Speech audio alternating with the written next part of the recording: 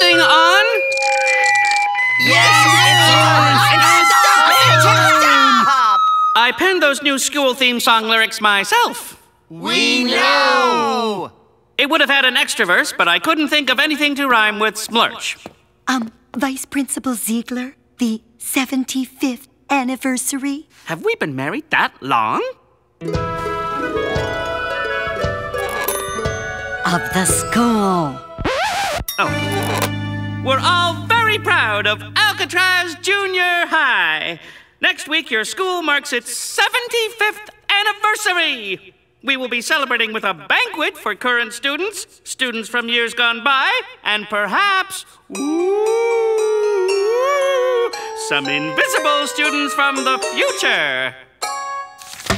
You all have duties for the school's 75th anniversary banquet. Sandrin Pelswick, you're in charge of developing a theme. At last! Something I can, like, artistically grapple with. The unspoken essence of the school. In, like, sundry period fabrics and motifs. Could I be swung headfirst into the dinner gong instead?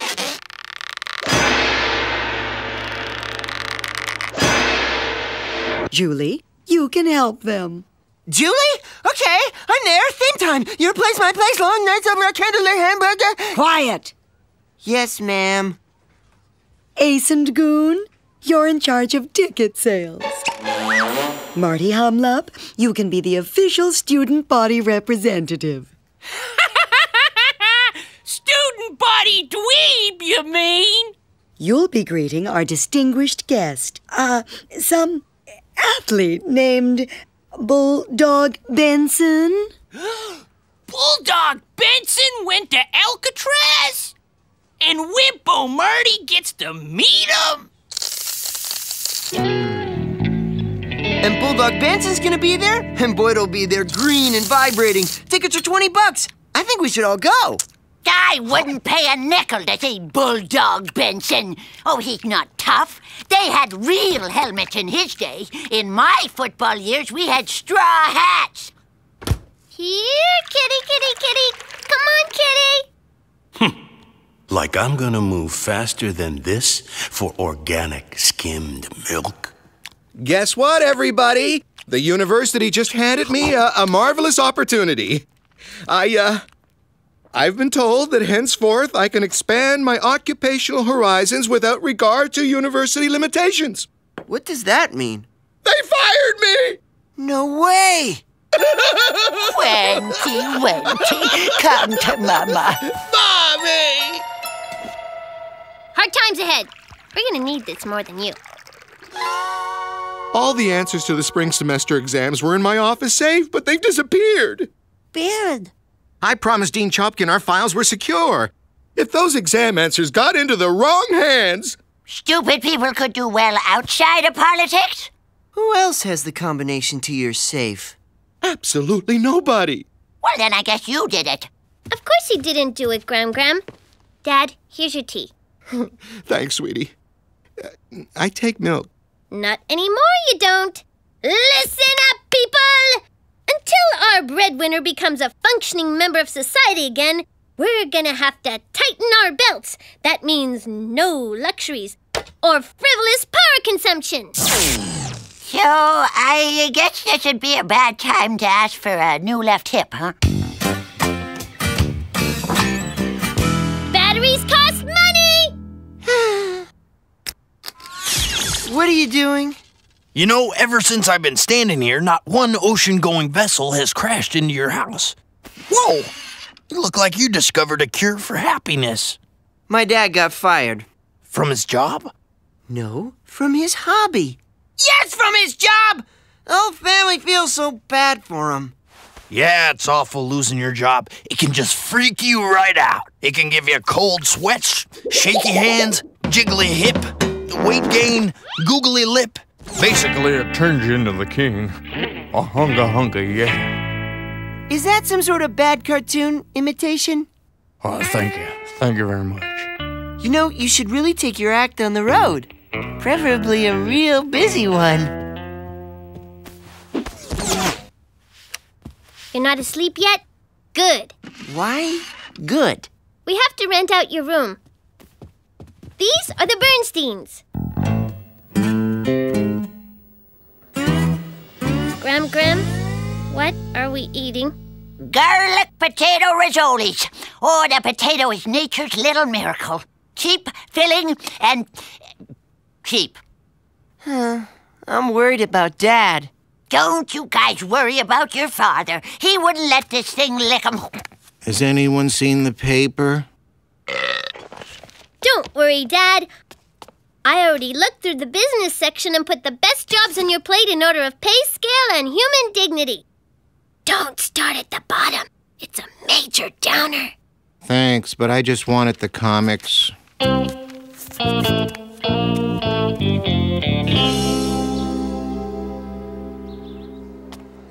I've been looking up the school's history. Alcatraz was built on the site of an old apiary. There used to be a bunch of monkeys here? Actually, an apiary is where they keep bees, Goon. Uh, why don't they call it like a bee-eary? I don't know. Right after the school was built, they used the bee theme for lots of activities. Like, wow! The football team was called the Busy Bees. Look at those outfits! This would make a neat theme for the banquet. What do you think, Pelswick? Huh?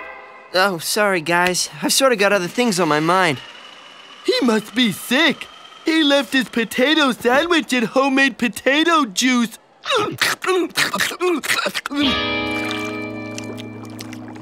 Moderately good potato soup, Gram Gram. How's your job with the works department? Yeah, I was fired. No problem. I'll get another job tomorrow. Did Dad look for work today?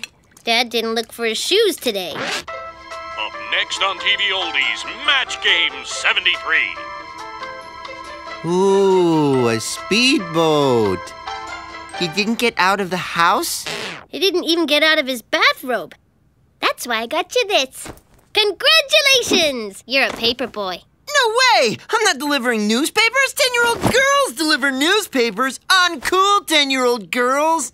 I'm too hip, too happening. Listen, Austin Powers. You think I enjoy pretending I'm a blind blues singer outside a Java joint? Ain't no jam in Mama's jam roll, no wood in Mama's fence. Mama ain't got nothing but the blues and 50 cents. But the blues and 65 cents. you do what you gotta do. At least this you can do early in the morning when no one's awake to see you. Alrighty, T-bone steak or chicken wings? we have steak and chicken wings? We sure do. Who wants the potato carved into the shape of a steak, and who wants the potato carved into a chicken wing? come on, come on, give Papa some bacon. Don't make me deliver newspapers. What do you got for me?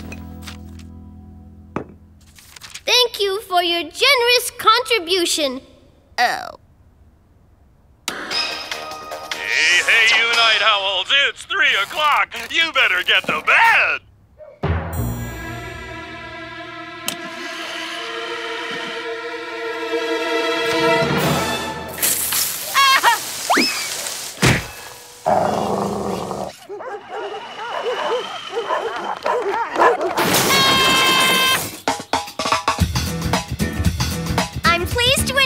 We've agreed on a theme for our school's anniversary banquet. The Buzzing Bayview Bees. Stengel's Honey is graciously lending us some old hives for decoration. Sandra's decorating the hall. And of course, Marty is greeting Bulldog. Goon, you can go to Stengel's and pick up the hives. If Mr. Stengel's not there, he says take them from the left side of the barn. Left? The museum has like graciously offered to lend us the original Bees mascot costume for Marty. Oh, they have, have they? So that's like everything. Pelswick. Uh, paper mister. Pelswick! What? What? What? No, I wasn't delivering anything. It wasn't me. No, no papers. papers?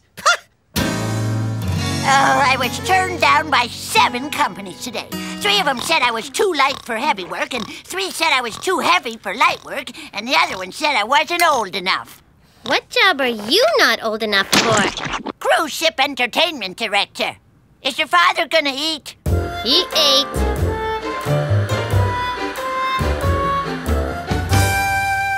Hey, hey, night owls! It's three o'clock. Betty bye time.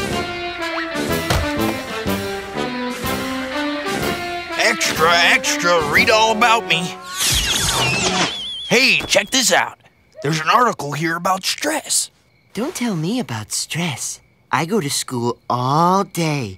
After that, I've got this boring banquet planning committee. Then I go to bed before Bobby just so I can get up at 3 a.m. to deliver these stupid newspapers. And if that isn't bad enough, I've had nothing to eat but potatoes for the last three days! Stress can make you short tempered, it can give you zits.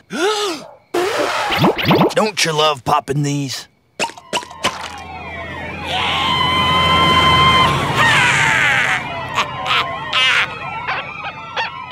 Was that a hallucination? Nah, that was our second job this morning. The modeling gig didn't pan out. I gotta go. You can do it. You can do it. You can stay awake. You can.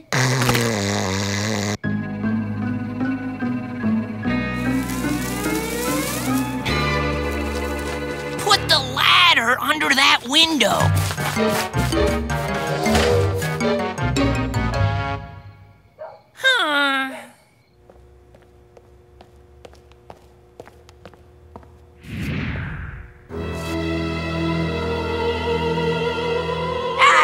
Dimwits put that together all wrong.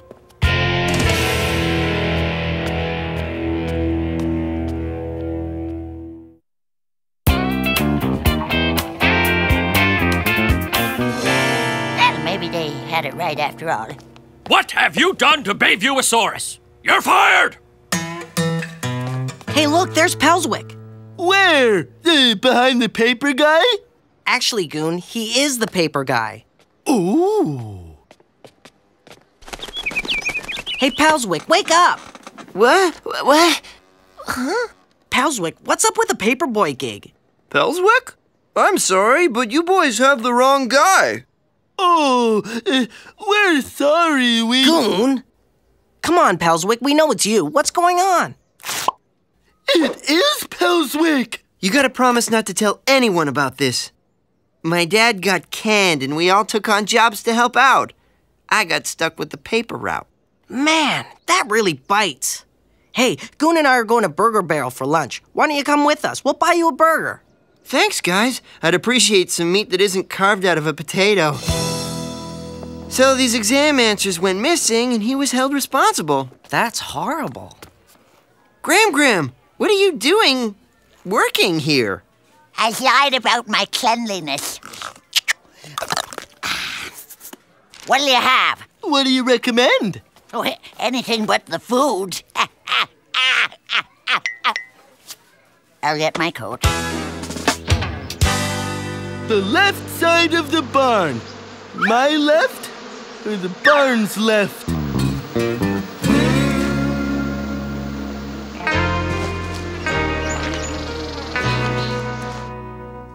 Bizarre theft. Unless they find it before tonight, I guess Marty will have to greet Mr. Benson without the historic costume. Pelswick, how did you get a copy of today's paper before you went home? No, that's a stinking lie! I was in bed all night! What? Um, actually, I ran out and bought one. I need to know the pollen count every day so I know how much to sneeze. No, no, no! Black, yellow, black, yellow, yellow, black, yellow, black! Great news! You got me a different job? No, I got you more of the same job. Tomorrow you're delivering to the university as well. What? It's an extra 10 bucks. We could probably afford french fries with that. How's it going, Dad? You look like you could use some vitamin C. You want a potato carved into an orange? Hey, hey, night owls. It's Gram Gram Radio. All hits all through the night. With no annoying commercials, 'cause I hate 'em as much as you do. The, what? Oh, oh, hey, let, let, let go of me. What the? Ah!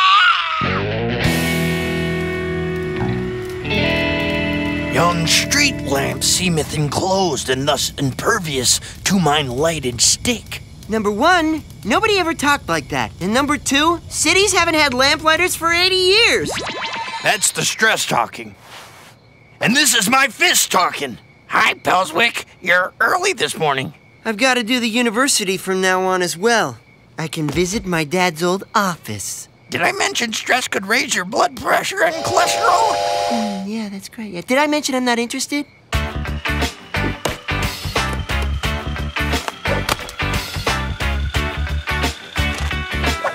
Huh?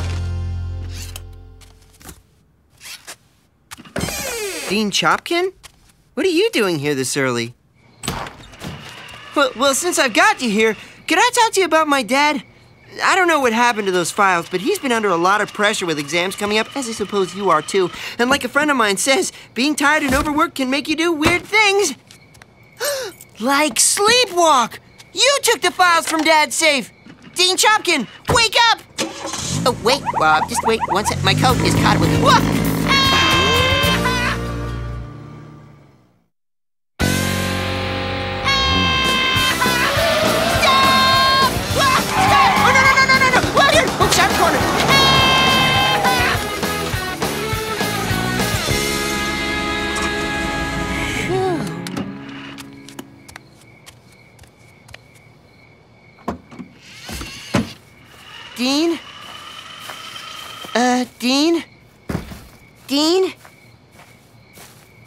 I hate to do this, but it's for my father's own good.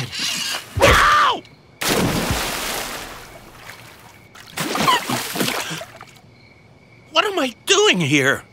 You were sleepwalking. You've been taking all the files you're so worried about during the day and hiding them at night. My dad gets his job back, right? What are you looking at? You're a paper boy? At your age?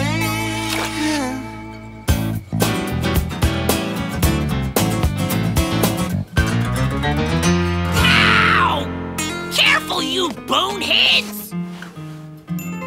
I may have to let your stinger out another six inches. Huh. Thank you for getting my job back, Pelswick. But I'd appreciate it if you didn't mention to any of my friends that. That you sat in front of the TV and gurgled for three days? Heh. Nah, I won't. No, that you were a paperboy at your age.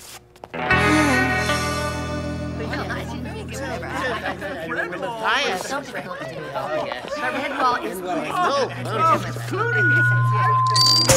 this thing on?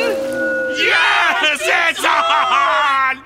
Welcome to the annual Iditarod Sled Run. Let's de-ice the dogs and get going. I told you it's not the Iditarod Sled Run. It's the anniversary banquet. Oh. I mean the 75th anniversary banquet. Please welcome football great and Alcatraz alumnus, Bulldog Benson. Yay! Yay! Here to present Mr. Dog with a very special plaque that we bought yesterday at a flea market and stuck a new name on with glue is our student body representative.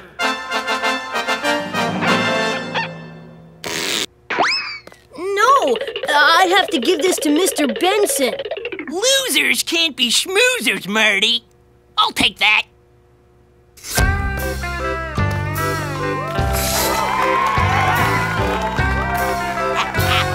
Gram Gram? I booked the gig before your dad got his job back. You didn't tell me he was cute. Bulldog! I'm your biggest fan! No, he isn't, Bulldog. I am. Get out of my way, you little...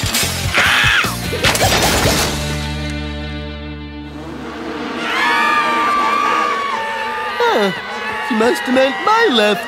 Ah! Oh, the bee humanity! Oh! Look out, Marty! Bees! No way!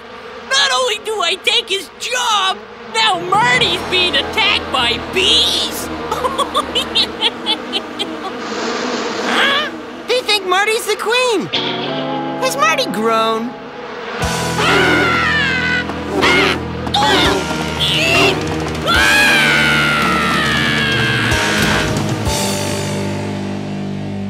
It's okay, everyone. We're all right. The banquet can continue. Start the entertainment. Born in Louisiana, I was already five years old. Cause mama couldn't afford no baby food. That's what I've been told. I'm a beekeeper, baby.